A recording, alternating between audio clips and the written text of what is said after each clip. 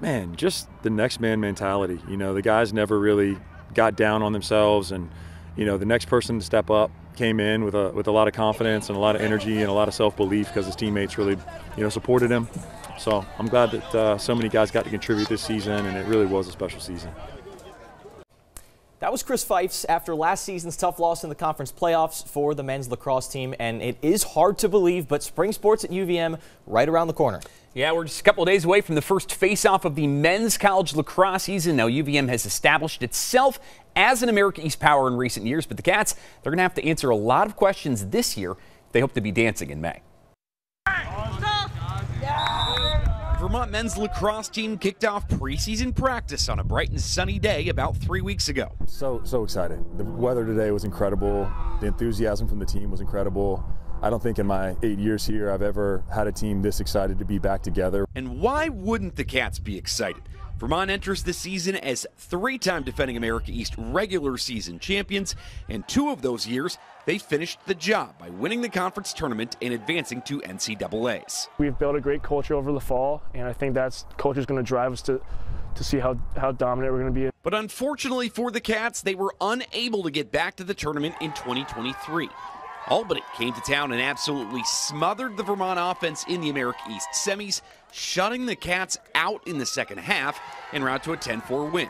The silver lining is that this year's group will not have to look hard for motivation. I've been thinking about that game every day since it happened. Walking off Virtue for my senior year, it just gut wrenching, and I just use that every day. Yeah, it's it's been the biggest motivating factor. I think we've had our most challenging off season. We really challenged the guys with not only our practice time, but the training that we demanded out of them and they answer the bell every single day. Head coach Chris Feifs has built his program on defense. The Cats have ranked in the top 10 nationally in goals against average five times in his seven seasons in charge. But this year's Vermont group is going to have to count on Fogos, poles, and goalies without a ton of experience. They came in hungry, they came ready to learn, and they've been really just every day asking the right questions, doing the extra works, uh, watching film on their own, watching film as a team, watching film with Coach Feifs. They're really just in the right mindset. It's great to see guys like George Egan, who is stepping into the goalie position his senior year, and um, you know Jack Fitch and Charlie Egan, and guys that have been more auxiliary roles that are going to need to step up big for us this year. Fortunately, the other side of the ball returns a lot of key pieces, including last year's leading scorer, Brock Haley.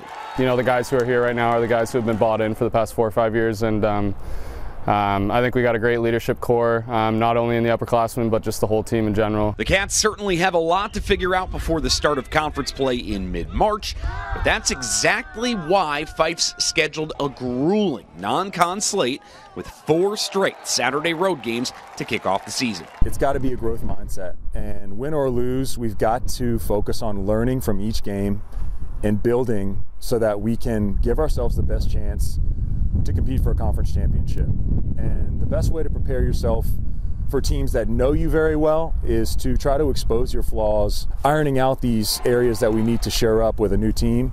And who better to do that than a team like Syracuse? All right, here's a look at those four road games to open the year. The only one of the four that hasn't been to the tournament the last two years, well, that would be the top 10 ranked Blue Blood, Syracuse. Cats will get them this Saturday before trips to BU, Manhattan, and Utah to close out the month of February.